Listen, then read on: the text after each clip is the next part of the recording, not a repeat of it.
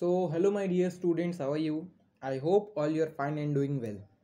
तो आज से हम लोग अपने योद्धा बैच में अकाउंट्स के वन शॉट रिवीजन सीरीज़ को चालू करने वाले हैं इससे पहले हम लोगों ने हमारे बिज़नेस स्टडीज़ को हमारे इंडियन इकोनॉमिक डेवलपमेंट को और हमारे माइक्रो इकोनॉमिक्स के जितने भी चैप्टर थे उनका चैप्टर वाइज रिवीजन कर लिया है चाहे कॉन्सेप्ट की बात की जाए या इम्पोर्टेंट एम की बात की जाए तो जो भी चीज़ें थी वो सारी चीज़ें हम लोगों ने अब तक कवर कर ली है आज से इस पर्टिकुलर वीडियो से आगे की जितनी भी वीडियो आएँगी उसमें हम लोग अकाउंट्स के जितने भी चैप्टर्स आपके एंट्रेंस एग्ज़ाम में इंपॉर्टेंट रहने वाले हैं उन सभी चैप्टर्स के कॉन्सेप्ट को रिवाइज करेंगे उनसे रिलेटेड जितने एमसीक्यू बन सकते हैं उसको सॉल्व करने की कोशिश करेंगे और हम लोग कोशिश करेंगे कि आपके एंट्रेंस एग्ज़ाम में ज़्यादा से ज़्यादा जो क्वेश्चन आ सकते हैं उन क्वेश्चन को सॉल्व करने की कोशिश करेंगे।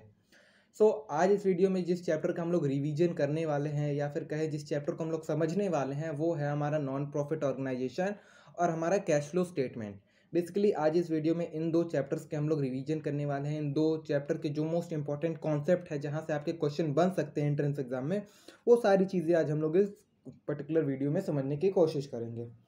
So let's begin so first चीज़ आता है जो फ़र्स्ट चैप्टर जो हम लोग का इस वीडियो में रहने वाला है, वो है हमारा non profit organisation and second जो चैप्टर है, वो हमारा कैश फ्लो स्टेटमेंट है, जैसे कि मैंने आपको पहले बता रखा है।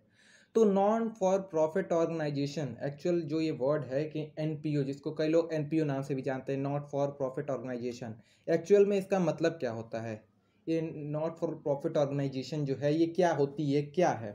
ऑर्गेनाइजेशन तो है ऑर्गेनाइजेशन से आप लोग समूह समझ रहे होंगे कि ऑर्गेनाइजेशन का मतलब क्या होता है? एक ग्रुप ऑफ़ संगठन कहा जा सकता है, इसको संगठन। And not for profit organisation क्या होता है? तो वो संगठन जो बिना किसी प्रॉफिट या जो काम करता है, ना कि मुनाफा कमाने के लिए, बल्कि लोगों को सेवाएँ प्रदान करने के लिए। नहीं समझे आप लोग? वो ऑर्गेनाइजेशन जो काम करता है, उसका ये मेन मोटिव नहीं रहता है कि वो प्रॉफिट कमाए। वो प्रॉफिट कमाने के मोटिव से काम नहीं करता है। वो काम करता है इस मोटिव से ताकि लोगों को वो सेवाएँ प्रदान कर सके। और जो पब्लिक है या जो आसपास के उसको लोग हैं, उनको वो, या तो पब्लिक को सेवाएँ प्रदान कर सके, या तो उसके जो मेंबर्स हैं, उनको सेवाएँ प्रदान कर सके। सो दैट्स वाई ये, इसको हम लोग क्या कहते हैं? नॉट फॉर प्रॉफिट ऑर्गेनाइजेशन यानी कि वो समूह जो प्रॉफिट के कमाने के मोटिव से काम नहीं करता है, उसको हम लोग नॉट फॉर प्रॉफिट ऑर्गेनाइजेशन कहते हैं। ठीक है? वही चीज़ यहाँ पे डेफिनेशन लिखी है, देखिए not for profit organisation are those organisation which are set up for which are set up not for earning profit यानी कि उनका स्थापना प्रॉफिट मोटिव प्रॉफिट कमाने के मोटिव से नहीं किया गया था, बल्कि किस मोटिव से किया गया था? For rendering service to public और इट्स मेंबर यानी कि पब्लिक को या उसके मेंबर्स को सर्विसेज़ प्रोवाइड करना। तो जो संगठन ना कि किसी प्रॉफिट के मोटिव से काम करता है रदर देन वो काम करता है किस मोटिव से, ताकि अपने लोगों को या जो पब्लिक है उसमें इन्वॉल्व है और जो मेंबर इन्वॉल्व हैं उसमें, उनको सेवाएँ प्रदान करने के मोटिव से काम करता है, ना कि प्रॉफिट प्रॉफिट कमाने के मोटिव से। तो उसको हम लोग कहते हैं, क्या कहते हैं? नॉट फॉर प्रॉफिट ऑर्गेनाइजेशन ठीक है? अब इसके एग्ज़ाम्पल कौन कौन से हो सकते हैं? स्कूल हो सकता है, कुछ स्कूल बिना फ़ीस लिए भी बच्चों को पढ़ाते हैं, ये भी आपका नॉट फॉर प्रॉफिट ऑर्गेनाइजेशन हो सकता है। हॉस्पिटल्स हैं, कई सारे जो आपका इलाज करते हैं बिना किसी आपसे फ़ीस चार्ज किए, वो भी आपका नॉट फॉर प्रॉफिट ऑर्गेनाइजेशन हो सकता है। लिटरेरी सोसाइटीज़ हो सकती हैं, ये सारी चीज़ें आपकी जो हैं, लाइब्रेरीज़ हो सकती हैं या फिर कई चैरिटेबल ट्रस्ट चलते हैं, अनाथालय चलता है और फनी जिसको हम लोग कहते हैं इंग्लिश में तो कई सारे ऐसी चीज़ें चलती हैं जो जिसका पब्लिक में काम, जिसका मेन काम ये नहीं रहता है कि वो आप, आपसे प्रॉफिट कमाए, या से, या अपने प्रॉफिट मोटिव से काम करे। उसका काम क्या रहता है कि वो पब्लिक को अपनी सेवाएँ प्रदान कर सके, अपने लोगों को सेवाएँ प्रदान कर सके रेदर देन कि वो प्रॉफिट कमाए। So these organisation do not prepare profit and loss account यानी कि जो नॉट फॉर प्रॉफिट ऑर्गेनाइजेशन है तो वो उस पर उसका मोटिव तो प्रॉफिट कमाना है नहीं। तो वो प्रॉफिट एंड लॉस अकाउंट नहीं बनाती है।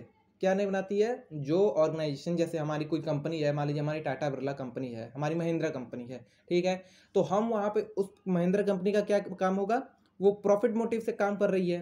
तो काम कर रही है प्रॉफिट कमाने के हिसाब से। तो कौन सा अकाउंट बनाती है? प्रॉफिट एंड लॉस अकाउंट बनाती है। क्यों? क्योंकि उसका प्रॉफिट होगा या तो लॉस होगा। लेकिन जो नॉट फॉर प्रॉफिट ऑर्गेनाइजेशन होते हैं, यानी कि जो प्रॉफिट के मोटिव से ऑर्गेनाइजेशन जो नहीं काम करती हैं, वो कौन सा अकाउंट बनाएँगी? अपने, वो भी तो कोई अकाउंट बनाएँगी।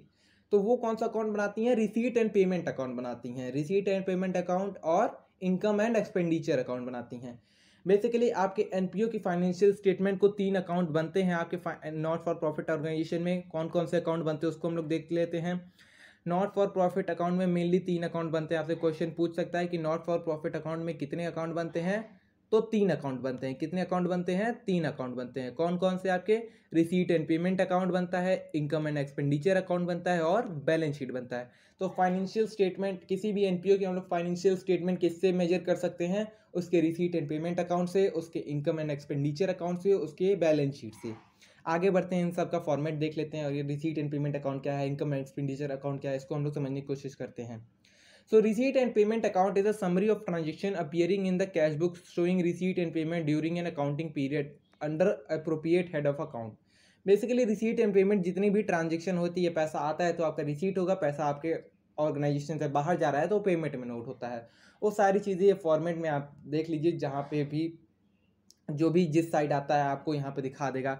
ये आपका डेबिट साइड है रिसीट एंड पेमेंट का एंड ये आपका एक सेकेंड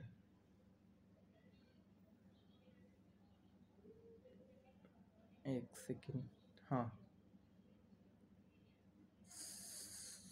सो so, आप लोग फॉर्मेट देख लीजिए। आपको फॉर्मेट से क्वेश्चन पूछेगा नहीं उतना लेकिन आप लोग देख लीजिए कौन सी साइड किस साइड आती है।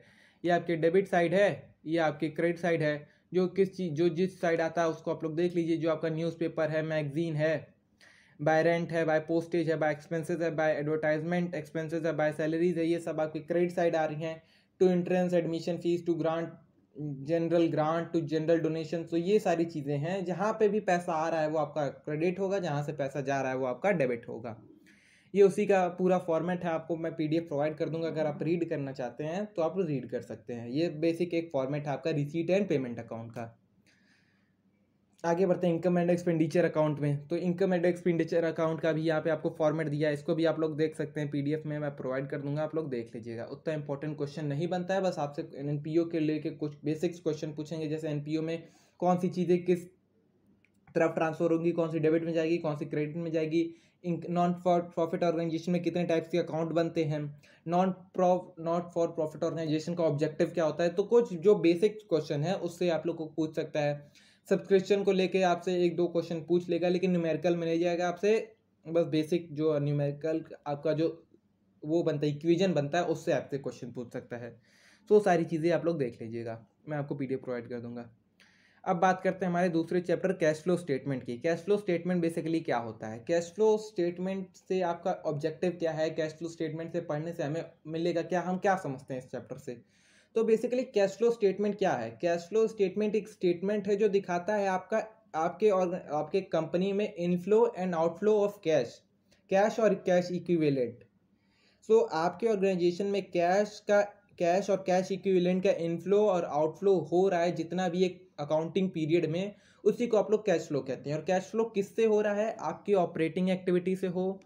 किससे हो? आपके ऑपरेटिंग एक्टिविटी से हो या इन्वेस्टिंग एक्टिविटी से हो या आपके फाइनेंसिंग एक्टिविटी से हो तो आपके ऑर्गेनाइजेशन में या आपके कंपनी में जो भी इनफ्लो एंड आउटफ्लो हो रहा है कैश का और कैश इक्विवेलेंट का with three these three activity operating investing and financing activity within accounting year is called cash flow statement यानी कि कैश फ्लो स्टेटमेंट बेसिकली एक स्टेटमेंट है जहाँ पे हम सारी चीज़ें मेजर करते हैं, हमारे कंपनी में कितना कैश फ्लो कितना कैश इनफ्लो हुआ, कितना आउटफ्लो हुआ कितना कैश इक्विवेलेंट आउटफ्लो हो रहा है, कितना इनफ्लो हो रहा है, कौन सी एक्टिविटी से, आपकी ऑपरेटिंग एक्टिविटी से इन्वेस्टिंग इन्वेस्टिंग एक्टिविटी से और आपके फाइनेंसिंग एक्टिविटी से।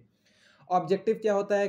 कैश फ्लो स्टेटमेंट का objective of cash flow statement is to determine the cash flow in cash inflow and outflow from operating investing and financing activity यानी कि objective क्या होता है कैश फ्लो स्टेटमेंट हम लोग इसलिए बनाते हैं ताकि हमें पता चल सके कि हमारे हमारे ऑर्गेनाइजेशन में कितना कैश का इनफ्लो हो रहा है या आउटफ्लो आउटफ्लो आउटफ्लो हो रहा है, कौन सी एक्टिविटी से, हमारे ऑपरेटिंग एक्टिविटी से, हमारे इन्वेस्टिंग एक्टिविटी से और हमारे फाइनेंसिंग एक्टिविटी से। इंपॉर्टेंस ऑफ़ कैश फ्लो क्या है, इसको रीड कर लेते हैं एक बार हम लोग। It will help in asserting cash flow from operating investing and financing activity तो इन सारी इन तीनों एक्टिविटी से जो भी कैश फ्लो हो रहा है, उसको हम लोग मेजर करने का काम करता है। हमारे प्लानिंग में काफ़ी हेल्प करता है प्लानिंग मैनेजमेंट में काफ़ी हेल्प करता है। It help in maintenance of liquidity and determine solvency हमारे कैश की लिक्विडिटी को डिटरमाइन करने में हेल्प करता है कौन? हमारा cash flow statement it help in efficient cash management हमारे कैश मैनेजमेंट का इफिशियंट हो यूज़ हो सके, उसमें हेल्प करता है। हमारे कंपैरिजन में हेल्प करता है। और भी कई सारे इसके ऑब्जेक्टिव हैं। देखिए यहाँ पे इंपॉर्टेंस आप लोग उसको रीड कर लीजिए। So that's all in video thank you so much आपका जो कैश फ्लो था और आपका जो कैश फ्लो स्टेटमेंट और आपका जो ऑल फॉर प्रॉफिट ऑर्गेनाइजेशन था, उसमें जितनी भी इंपॉर्टेंट आपके कॉन्सेप्ट क्वेश्चन बन सकते थे, वो सारी चीज़ें मैंने आपको कोशिश की है कि इस छोटे से वीडियो में समझा के कोशिश ख़त्म किया जाए। आपको ये वीडियो आपके जो पीडीएफ है, आपको इसका लिंक भी मैं दे दूँगा। इसका पीडीएफ का आपको व्हाट्सएप पे मिल जाएगा या तो मैं आपको गूगल ड्राइव पे अपलोड कर दूँगा। वहाँ से आप लोग इस पीडीएफ के देख लीजिएगा, आपको जो भी चीज़ें रीड करनी, जैसे आपके नॉट फॉर प्रॉफिट ऑर्गेनाइजेशन में आपका जो इनकम एंड एक्सपेंडिचर अकाउंट था या रिसीट एंड पेमेंट अकाउंट था तो उसमें जो आपके क्वेश्चन या फॉर्मेट से लेके आपसे क्वेश्चन बन सकता है कि कौन सी साइड आपको से पूछ देगा डोनेशन किस साइड आएगा डोनेशन इनकम एक्सपेंडिचर में आएगा या रिसीट एंड पेमेंट अकाउंट में आएगा तो ये सारी चीज़ें आपको मैं प्रोवाइड कर दूँगा, आप लोग देख लीजिएगा। So thank you so much